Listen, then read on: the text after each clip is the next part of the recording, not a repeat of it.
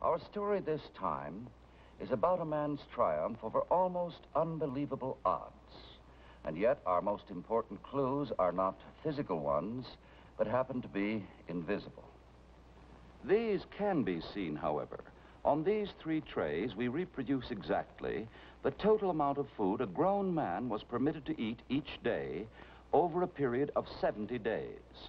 If you wanted to master a man, you would weaken him scientifically like this, taking your time, so that his body would crumble and his brain fall asleep. Unless, of course, he could rest most of the time. That would be nature's defense. In which case, you would keep waking him up or hold a light burning through his eyelids. Theoretically, after 70 days of this, you should be his master. Nevertheless, your man might still defeat you if throughout he had clung to our final clue, which I think quite proper to represent here as the cross. So we have named his story, I Am Not Alone. In the week of June 4th, 1951, there was published the picture of a dark-haired, rather handsome man, together with the review of a book he had written dealing with 70 days of his life in a prison. He was Polish with the somewhat difficult name to pronounce of Stypulkowski. His record states that Stypulkowski and 15 other members of the Polish underground government who had fought for freedom throughout the war were invited to leave Poland and come to Moscow to be honored with a state luncheon there on March the 28th, 1945. And in their hideout cellar in Warsaw, the underground leaders starkly considered whether the invitation to lunch would mean Russian friendship or death. They want control of all Poland. And they intend to find some way of discrediting us so they may set up their own government openly in our place. But everybody knows that we have been fighting for Poland. How can they possibly discredit us? Suppose they accuse us of organizing sabotage behind their lines. Who in their senses would believe it? Who outside Poland understands the meaning of this force we face? Has anyone else anything to say? If not, then let's vote. Those in favor?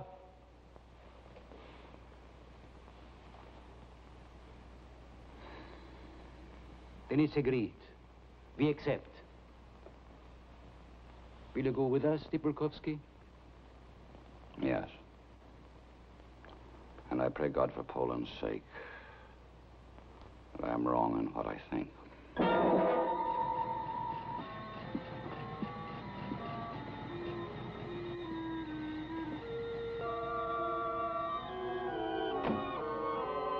This is how the journey started. And this is how it ended.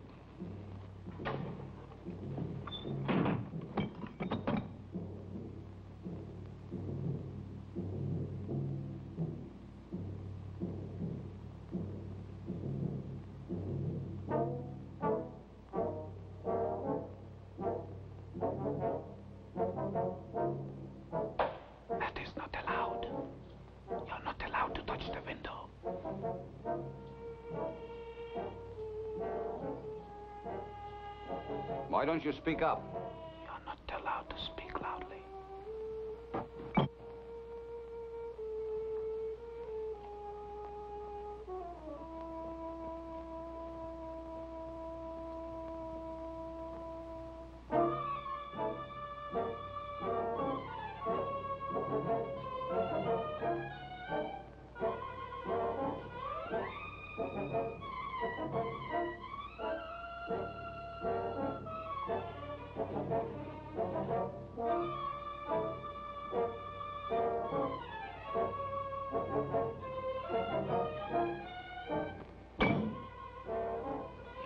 To lie down except during the hours of sleep.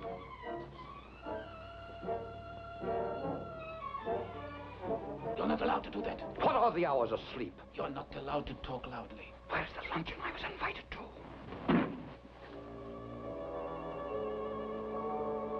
Fool.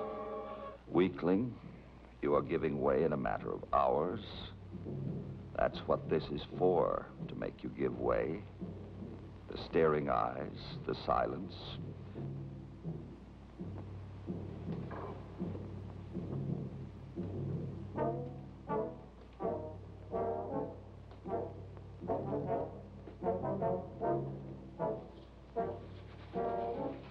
You're not allowed to hide your hands.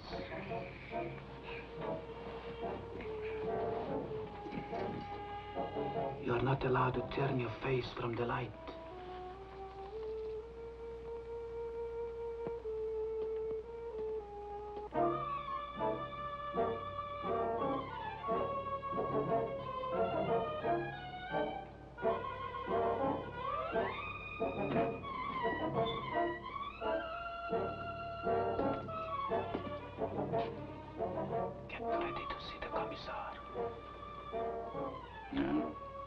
Get ready to see the commissar.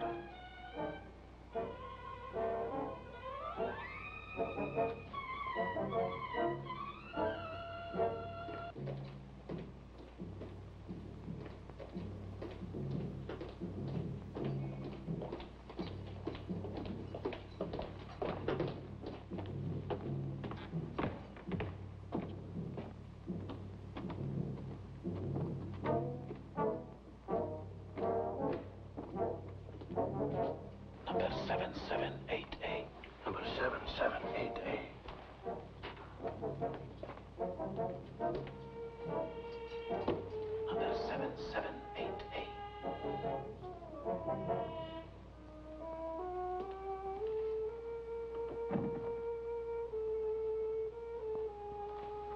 Major Tajanov at your service. I am honored to meet a leader of the heroic Polish underground. We know all about your heroism during these past six years, and we are overwhelmed with admiration. You have noticed something. It is your calendar. It tells me I've been in prison here for more than two days now. Your clock tells me less, for I do not know if it is night or day. It is a very sunny day outside. Oh, I am forgetting my manners. Do sit down. Thank you. A cigarette. Thank you, I don't smoke. You will not mind if I do. How did it happen that you came here to the Lubyanka prison? I did not come here of my own accord. I came to Moscow with my colleagues in response to an invitation to lunch at the Kremlin. So? Then obviously there must be some misunderstanding somewhere which will soon be cleared up. I hate to bother you, Mr. Stopolkowski, but as a lawyer, you will understand that I must have some personal details about you. Our record, you know. Yeah. Now, I have your full name, age. Yes, your mother's still alive, and so are your wife and sister-in-law. They are well, I hope. For the past three years, they have been in a German concentration camp at Ravensbrück. I don't know whether they are living or dead. Don't say so. How terrible for you. I see you have two brothers. No, the younger one was killed during the war with the Germans in 1939, and the older has been missing for some time. Uh, under what circumstances? I never heard. He's probably dead. Tragic, tragic. And your son? Some friends were looking after him. When the liberating Soviet armies marched in, uh, well, up until the time I came to Moscow, I had not found him. But, but why would a man like you leave his boy without protection? When I came to Moscow, I did not expect to be absent from Warsaw more than a day or so. But you must have some idea of where he is. Tell me, perhaps I can help you. I'm sorry to say I have no idea whatever where he is. Ah, well. It's half past two already. You must be tired. 778A is ready. I won't bother you anymore now. There seems to be certain stipulated hours of sleep. What are they? Ah, yes, let me see. Uh, 10 p.m. until 6 a.m. and 2 to 4 in the afternoons. A generous allowance, don't you think? Quite. I've had no food or drink since I've been here. You haven't. What must you think of us? That I can promise you will be put right. And I can promise you, too, you will find the food good. Simple, you know, but of its kind. Good and excellently served. We don't starve our guests. Good day.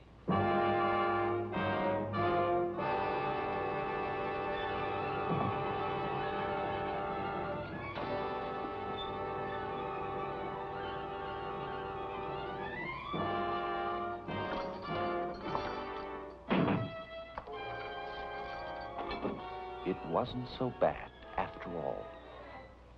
And he did not find out where my boy is. And he never will. He never will.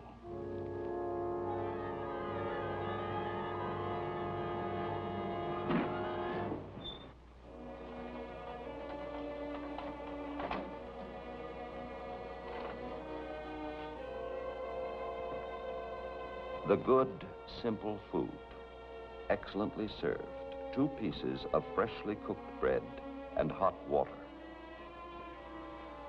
Luncheon, soup made of a fine quality cabbage leaf and the hot water. Dinner, two spoonsful of the finest quality ground oats and the hot water. As he promised, simple but good and excellently served.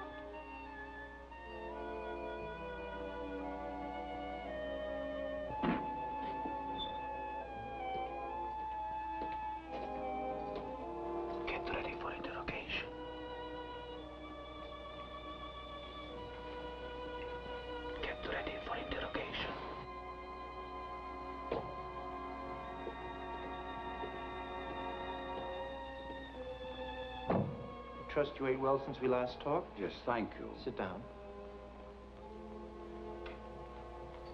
We have a rule here that during interrogation, your hand should be always in sight on the table. Do you mind?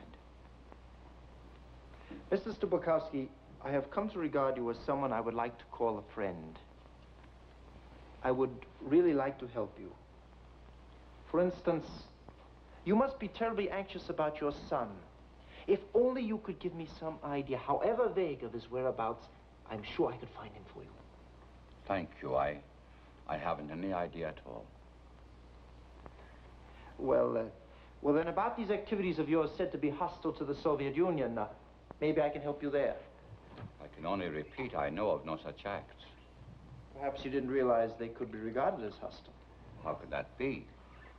All my efforts have been concentrated in fighting Germany. Let's get at it this way then. Suppose you give me a detailed account of everything you did do. After all, we may be wrong in this charge, and if so, we would like to clear up the whole misunderstanding. But I beg of you, for your sake, not to try to deceive us. If you are reticent, how can I help but think that you have something to hide? Let's clear it up. Be frank.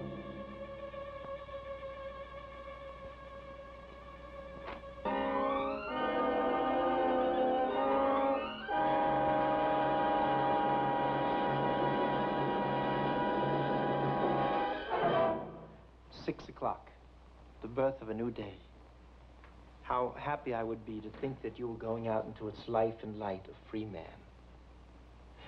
Why spend this new day like the last? All we ask is proof of your sincerity in telling us something we already know, and we can help you. Do please think it over. Are you quite sure you won't let us help you find your son? He may be in danger. How can I when I don't know where he is? Uh, 778A is ready.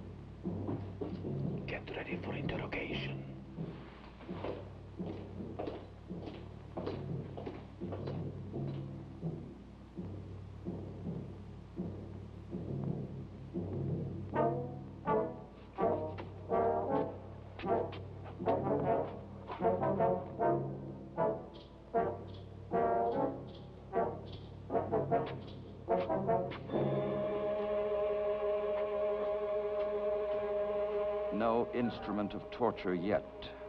No tool to break my flesh. No whip, no fabulous drugs poured into my veins. At the end of the first six interrogations, I calculated the 20 would mark my limit, and I should break.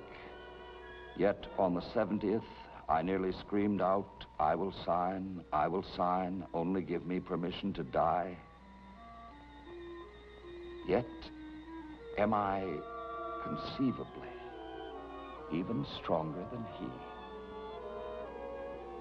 Do I stand alone?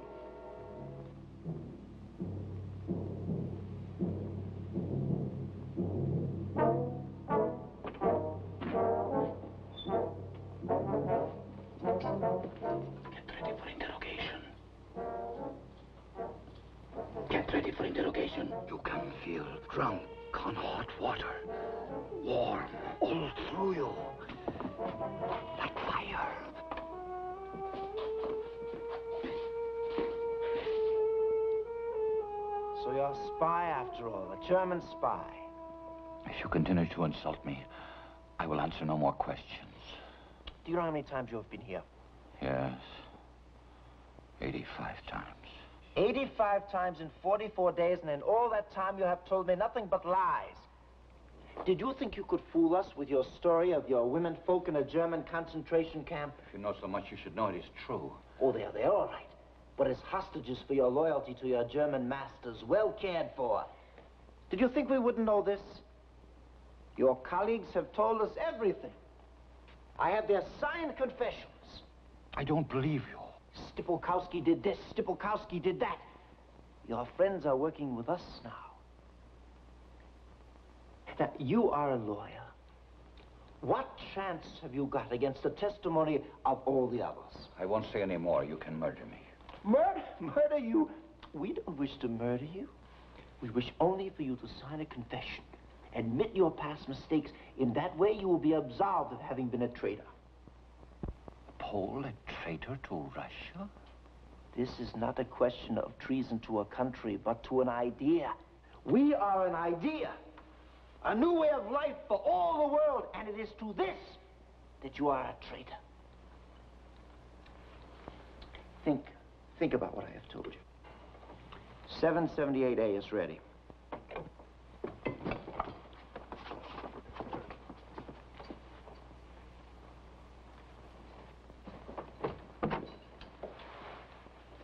Well, Not yet.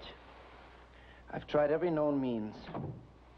If he has not lied to me, he has a prodigious memory. I have not missed a chance to trip him up. He is unusual, very gifted. I have never known anyone quite like him.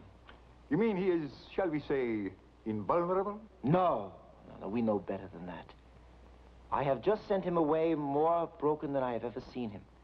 For the first time, I have seen him afraid. And when they are afraid, they crumble. No man is invulnerable. Praise the Lord is with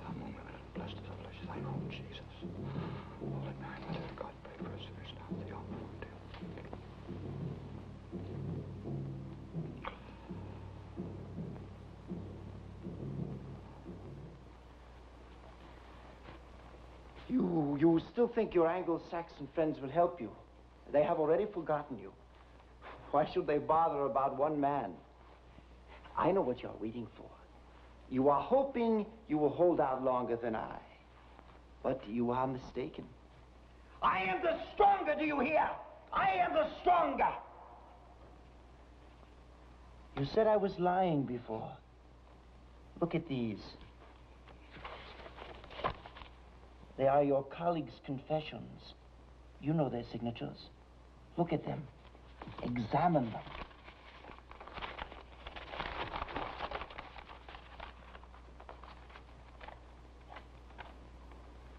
We want you to go back with them, back with your friends.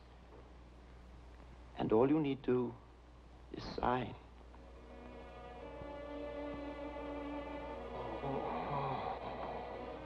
What are you, one man oh. against so much?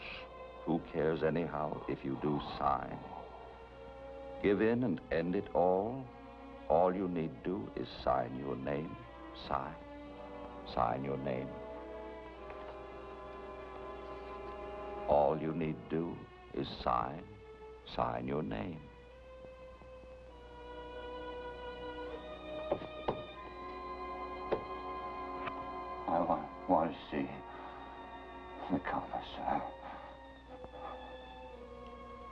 Asked to see the commissar. Then you are willing to cooperate with us. I applaud your wisdom. Give him the papers de Toronto.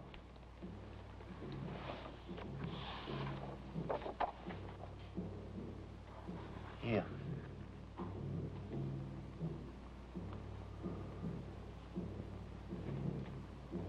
Take your time, Stypulkowski. Read it carefully before you sign.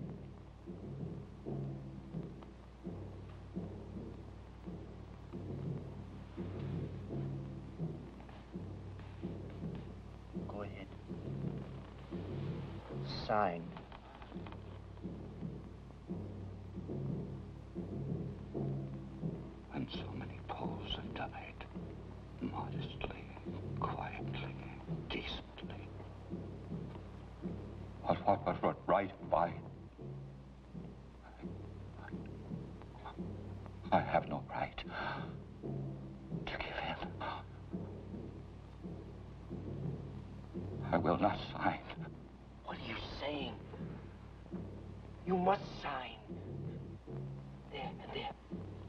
Words of your name. And it is over. You must confess. You must. I will never confess. Take him away! Take him away!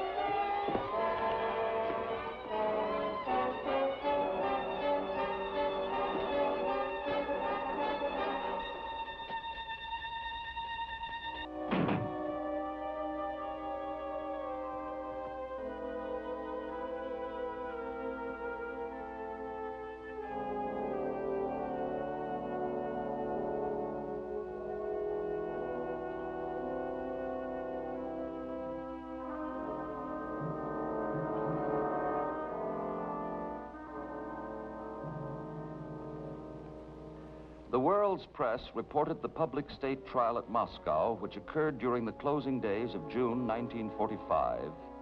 Correspondents and photographers were invited by Stalin's order to listen to 16 leaders of the Polish underground confess to treason, sabotage, spying, and murder.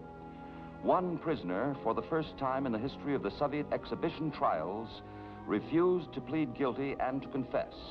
The name is given as Stypulkowski, who declared his innocence, was detained only a few weeks, and was given his freedom.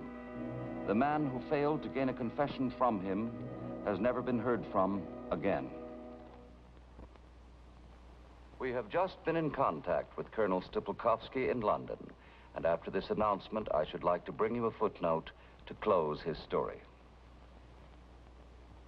As we have noted in the story, we had here the case of an extremely devout man in a struggle against a man who had no religion at all. Nevertheless, there have been a great many good and brave men of faith who have broken under the communist brainwashings, we believe temporarily, and we must add that Colonel Stypulkowski had a special advantage in his struggle. As it happened, in the years before the war, he had been an extremely successful courtroom lawyer and was hence used by training to the long and tedious process of interrogation or question and answer. But the accident of legal training would have been useless without the fact that he was a believer in a power above all states. And that's why we titled the story, I Am Not Alone. Our story to come is about a man who fought a hundred battles from the Yankee Stadium to the skies above the Coral Sea. But the battle that we are going to see was fought somewhere inside his own body. This struggle was to give his own courage to a young boy, and we are calling it Bullet Lou Kern. So until next week, this is John Nesbitt wishing a goodbye to you all.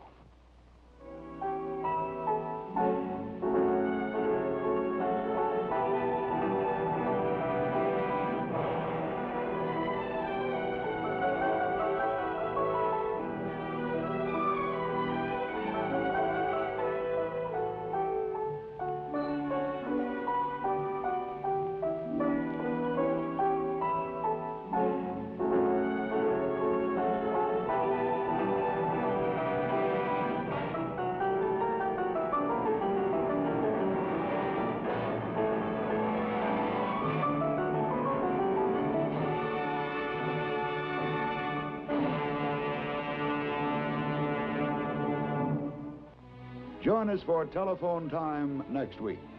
Until then, we remain sincerely yours, the Bell Telephone System.